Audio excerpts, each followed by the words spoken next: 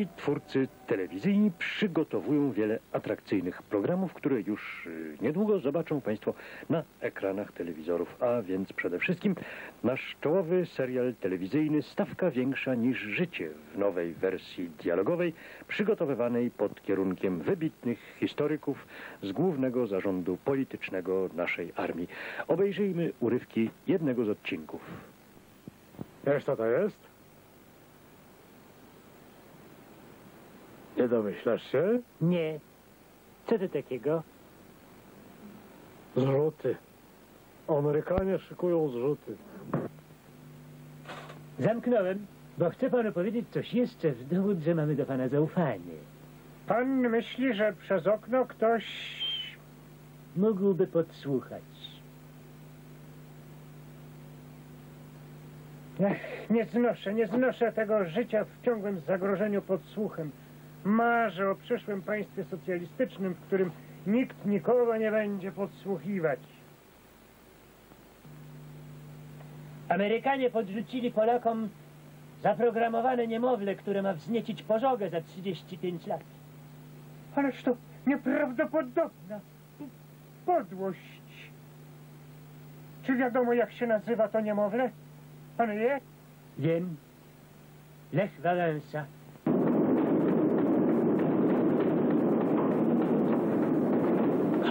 Odsłuchałam rozmowę Lajca z Brunnerem. Dzisiaj w nocy będą zrzuty. Ja się rozmyśliłem.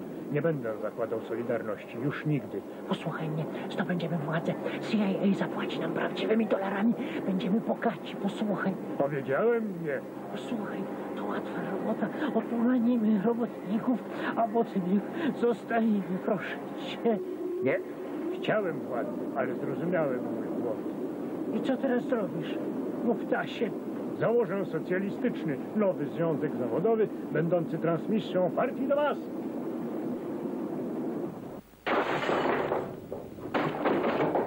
Ach, więc to ty, podła agentko. Jej, moje ranie.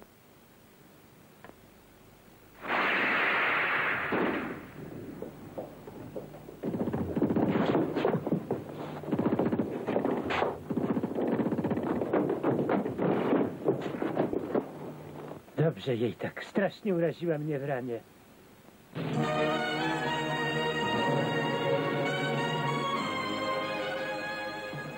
W przygotowaniu znajduje się również interesująca rozmowa, którą odbył e, dyrektor programu pierwszego pułkownik Bożyczko z generałem Janiszewskim.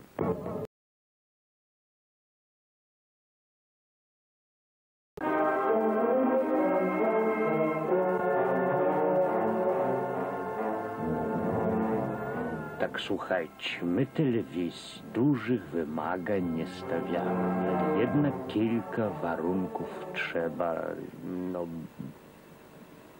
spełnić. Podstawowych. Ile to razy ja wam mówiłem, że przede wszystkim kultura osobista pracowników, że jeżeli ktoś się pokazuje na wizji, to on powinien pamiętać, że miliony telewidzów go oglądają, widzą, obserwują, jak wygląda, jak się zachowuje, jak zwraca do nas. Wy rozumiecie, Bożyczko, co ja do was mówię?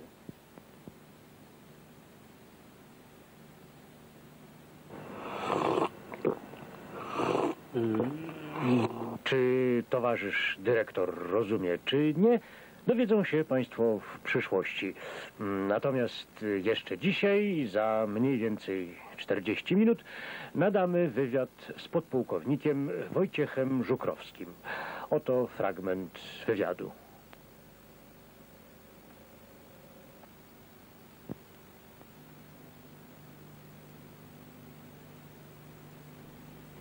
Powiem pan, powiem. Ja sobie wymyśliłem, że wzywysz od sekretarza dzielnicowego wszystkich członków władz partyjnych będę całował w rękę.